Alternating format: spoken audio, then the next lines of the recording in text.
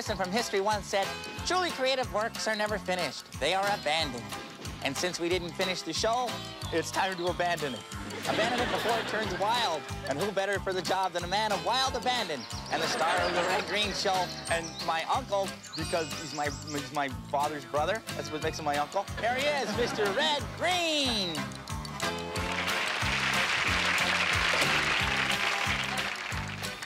Thank you very much. Thank you, everybody. Welcome to the show. Thank you, Harold. Not the best introduction I've ever heard in my life, but uh, uncles can't be choosers. Sorry, Uncle Red. I'm sorry. Well, no more than I am, Harold.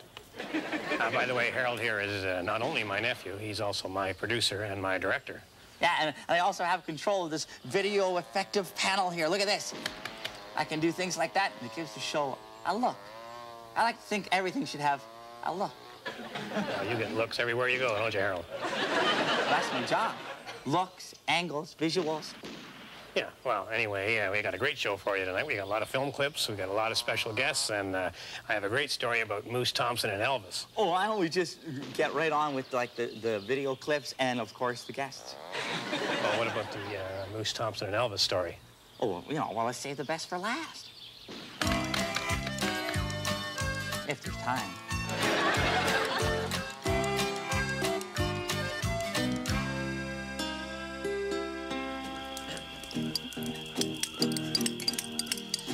Certain things you should never do.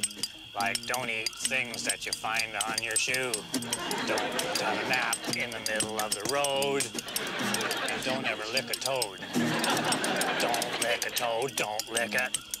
You'd be better off to kick it, or better still, just leave it alone. It wasn't bothering you. No. Don't lick a toad, don't lick it. Just say no to toads. Well, I guess you can tell this is kind of a special day. Uh, you know, once in a while, I do like to uh, spend some time with uh, with the youngsters, and this is something I think more and more adults uh, can do, uh, or even parents. You know, if, you, you're a parent and you do have a child, and it's not like Harold, you might want to spend some of your valuable time with the child. Pays off in spades. Uh, or if a kid down the street, you know, or if you get involved with the Big Brothers, highly recommend that. And uh, I'm spending some time today uh, with uh, Max. Max. And, uh, Max has brought a brought an airplane here. This is uh, this is Max's own uh, model model plane. Do you want to? No, no, no. Actually, you better not touch that. Um, what you can do, Mac? We're gonna fly this plane today. Um, this is well, this is kind of fun for me too. I gotta tell you. Uh, Max, why don't you you, un, you untangle a string, and uh, I'll, I'll I'll work on the plane. Uh, get all, all the junk. we can- He's got the whole kit here. He really has. Uh, he's got the whole thing all set up. you know, uh, I never had one of these. Uh, when I was a kid, I always wanted one. Uh, but of course, uh, now my dad, he, he wouldn't he wouldn't spend that that, that bit of time, and uh, so it, it didn't pay off for him, you know. And I think in a way that, and here I am spending time with a with a young fella, and look what's happening for me. I'm getting uh, finally uh, get the thing going with the model plane, which I always wanted as a kid and never get to get to it. And this is uh, so you see how it works out. So, gotta hurry it up, Max. Uh, I haven't got all day. And uh, and they, enjoy- they enjoy it too. It's not just it's not just it's not just a pleasure. I'm gonna get my glove.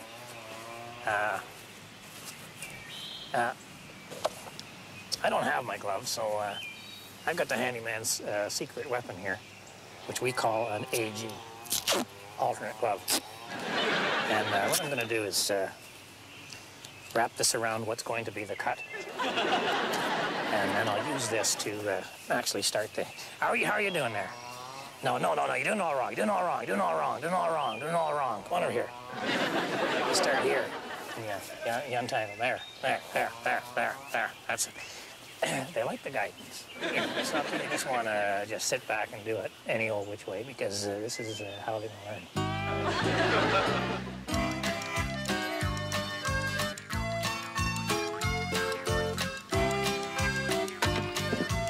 This week uh, in the Handyman Corner, we're going to show you how to get uh, more and more uses out of your uh, electric drill.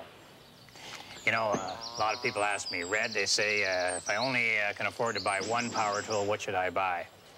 Well, now that they've made uh, flamethrowers illegal, I would have to recommend uh, the Power Electric Drill. First of all, you can use it uh, for drilling.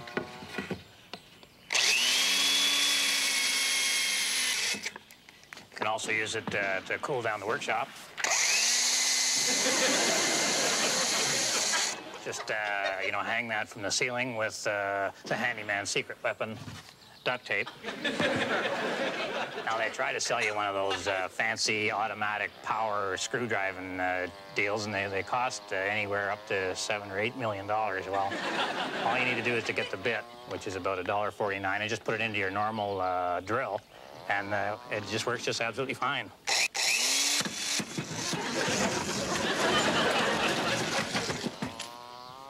Ah, you get the idea. Now, you know, they try to sell you a bunch of attachments for your drill, but uh, the truth is the attachments really don't make that much difference. Uh, the real reason that the drill works is through you horsing down on her and really putting some torsion on it. Uh, you can cut a hole with a, anything from a toothbrush to a car keys if you, if you get enough juice on her, you know. So, uh, for example, they'll sell you a real expensive uh, saw blade that goes on your drill. Well, that's really not necessary. Uh, I'll show you right here how you can uh, you can cut a, a perfectly good line uh, just using your ordinary drill with a with a drill bit in it. You know.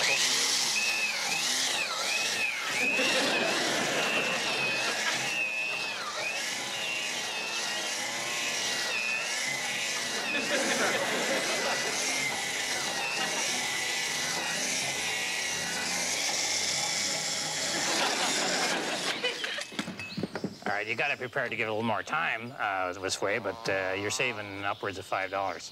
now, here's uh, here's something that you wouldn't ordinarily think to use a drill for, and this is what I'm I'm trying to say is that you're only limited by your own imagination. And you can deal with that as you may. But here's a situation where you take two wires that you would want to strand together, make some sort of a braiding pattern, just twist them together, make a neater look uh, for whatever it is you're maybe rewiring your stove or whatever. Uh, what you do is you put both ends of, of the wire in, uh, in there, and you take your two strands, and uh, you, you turn on the drill uh, from a remote setting, and then just slowly uh, walk towards while it, while it winds in. It's, it's, it's, a heck of a rig, and it's not something that you'd ordinarily think of with a drill. So why don't we just give this a, give this a try? Uh, all right, boys, you want to hit the power there? There we go. Look at that. All right, you want to kill that? Kill that now.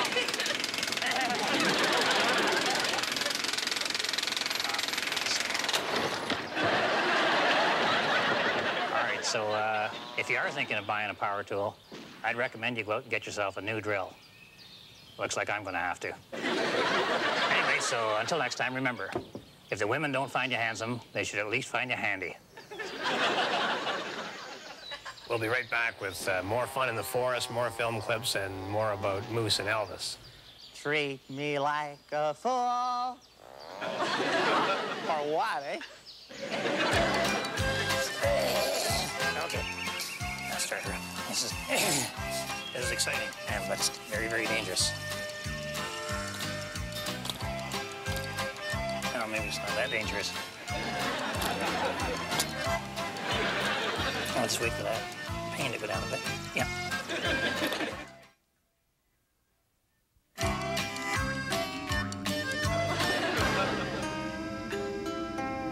It is winter. The rabbits grow a warm winter coat.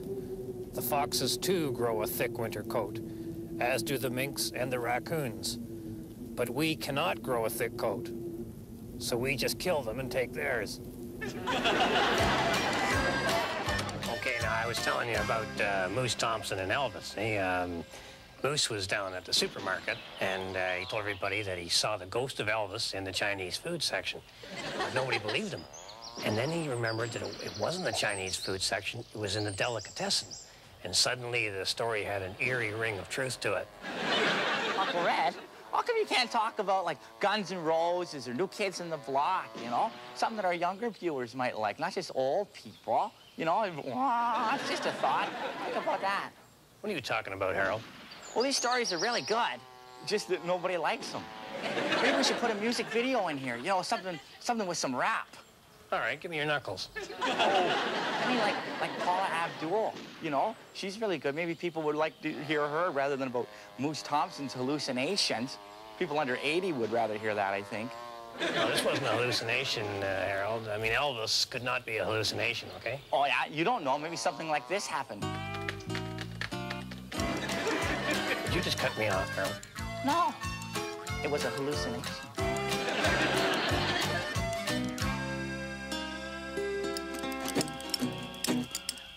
sizzle of bacon on the engine block. I see a handful of hash browns lying in my sock. I watch a stack of pancakes go rolling down the dock. Breakfast is hell when the stove blows up. All right. what we have to do now is uh, adjust the motor. Max, give me the fuel. Give me the fuel. Me, it's in the. Get the fuel. No, no, no, no, no, no, no, no, no, no, no. This, that's. No, all right.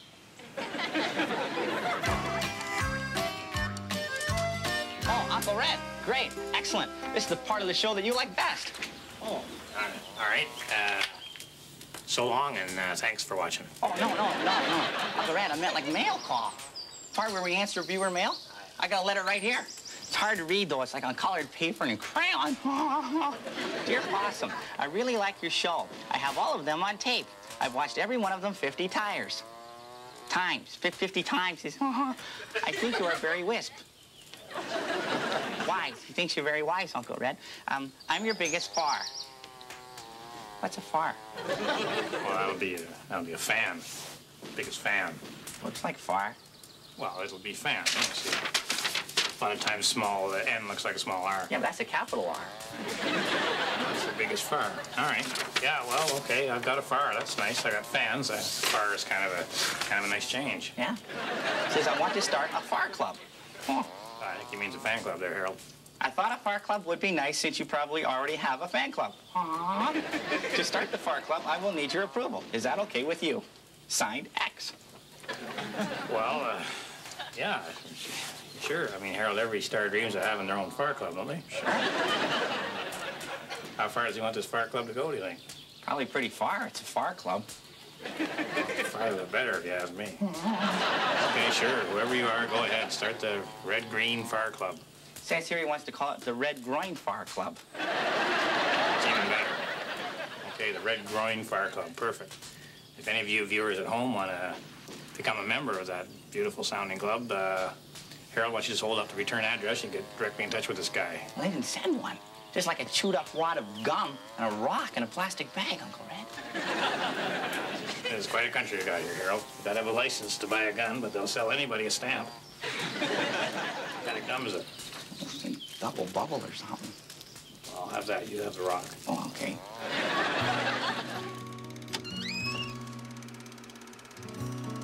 We uh, we do get uh, winter in this country, and uh, Bill and I think that uh, well, one of the keys to uh, make the best of winter is to get out and enjoy it, and actually take activities and, and just do them, you know. Because when you get going, like here he is uh, coming down on a sled, and uh, you know he's having so darn much fun that uh, he really doesn't notice the cold or the or the any kind of. There's no.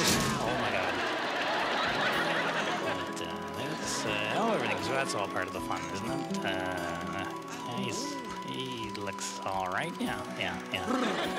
but uh, we want to show you today uh, how you can have some fun uh, with the winter, and uh, it doesn't matter if you don't have any money. You don't have to join an expensive ski club or any any such thing as that. Uh, uh, and it helps if you can't read. But even if you have just a cardboard box, I, I believe this is from a dryer or a washer, or it might have just been the donuts that we got. And then into the box, you see, and then that. Well, that wasn't that. No, you know, you don't want to go down on. You want to go down uh, standing upright in, in in the thing, and uh, Bill will show you. This is a lot of fun because you really can't see what you're going to hit. You know. Uh, well, that, I don't think that was Bill's top end, was it? Yeah, yeah, come on, Bill, come on, up you go, up you go, up you go. There you go. well, we jam them down there and flip them over, and away you go. Well, sake. and here's another uh, inexpensive uh, sled you can use. Uh, this is a garbage can lid, uh, and you know they're the plastic propylene,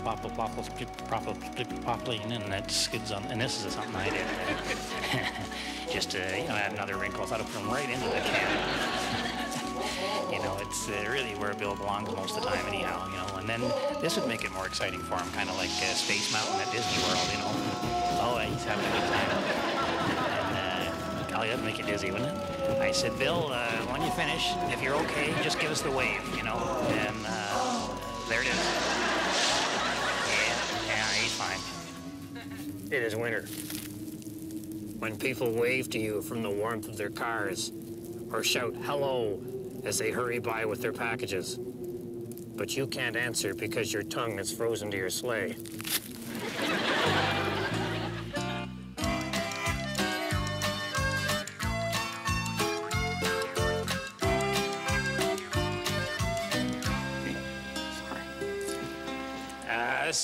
Time in the show where we uh, just take a minute out from the uh, entertainment and the pleasantries and, and have a chance just to be sort of bored out of our minds. Harold? Okay, um, I'm gonna talk about your first date. Okay, many of you, unlike me, have never been out on a real date with a girl. Oh. a girl. Okay, um, first things first, okay? Don't, do not try and kiss her in the hallway with her parents there. Don't. Second, never make fun of people who play lotteries until you've ascertained if indeed uh, she plays lotteries. And the worst, whoever thought this could have happened, but it's horrible. Maybe her family makes her living selling lottery tickets. and, and when you get out to the car and her foot's not in, inside the car, don't slam the door. Don't do that. Like, don't like maybe you think it's a seatbelt or something. You keep slamming it. Or, it's not. Don't. It's a leg. Smarts, according to people who have been there. And and next, when um, you go out to dinner and say, say you don't have enough money to cover the bill, okay? Um, Don't start crying. Don't. It doesn't help. Just be really cash and cool about it, right? Just say, you know what? I don't think I'm gonna have gravy on my fries. Do that, right? You're out of the situation. Schleck, right? Okay, then, you know what else you don't do? Don't go to a German art film and do not read the subtitles to her until she looks at you real sweet like and goes, Would you shut up? don't do that. And, and then finally, when you're going home and, and, and you're kissing her goodnight and she doesn't want to, don't ask her why. Believe me, it hurts. Thank you.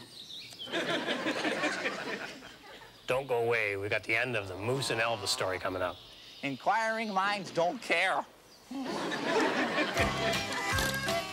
me the fuel there, Max. The fuel. No, no, no, no, no, no, no.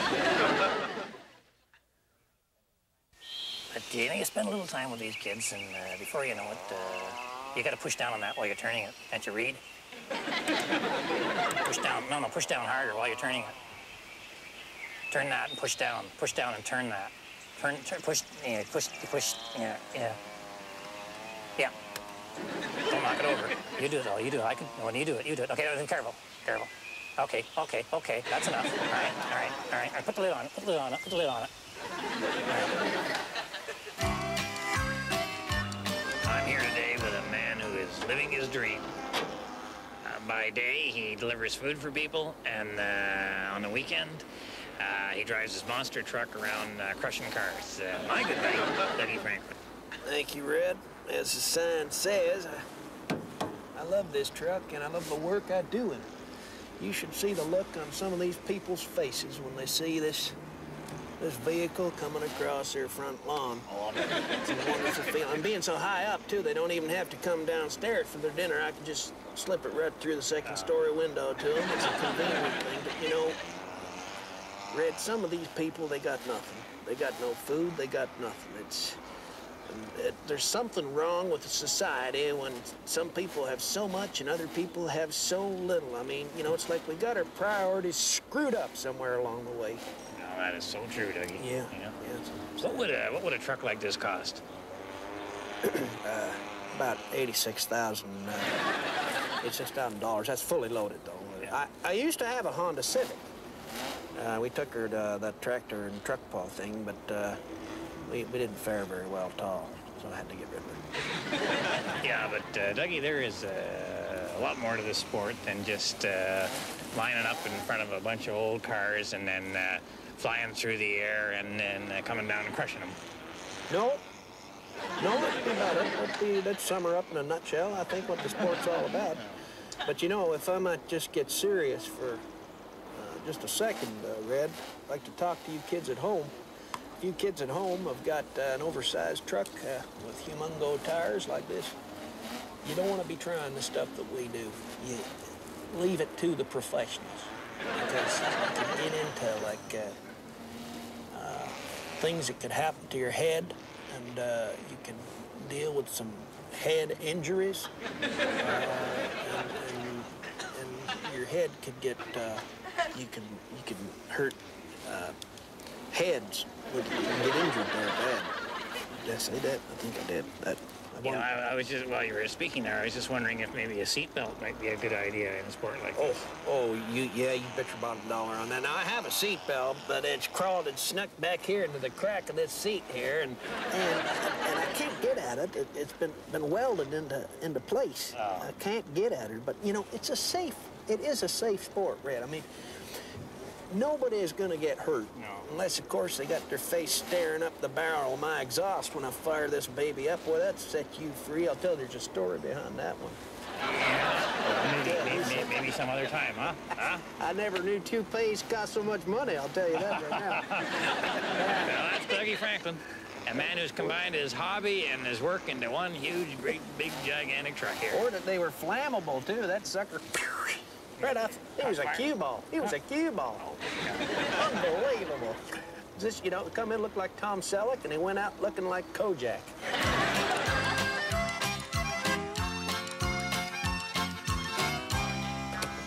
So uh, anyway, uh, after Moose Thompson had seen the ghost of Elvis, it kind of changed his personality. All right, I should say it. It got him a personality. Put uh, rhinestones all over his plaid shirt and his hunting vest and, and his tent. And he went around saying, "Well, thank you very much," you know. And uh, and he bought his mother a motorhome. And called it Greaseland. No, no, we try to be tolerant of people for a couple of minutes or so, but I mean, it got to the point where he was really getting on our nerves. Uh, so we knocked him down, stepped on his face, and slandered his name all over the place.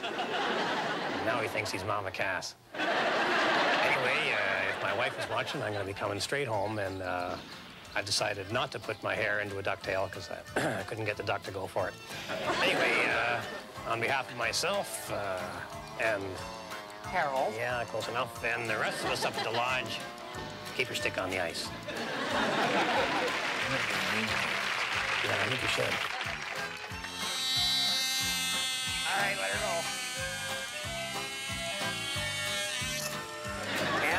That's it. Now that's fine at its best, isn't it? We take this little extra time, and uh, the youngsters uh, get to have some fun. And uh, is it okay?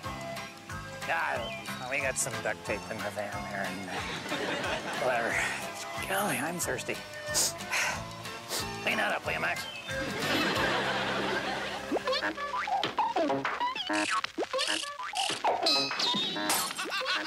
Boy, this is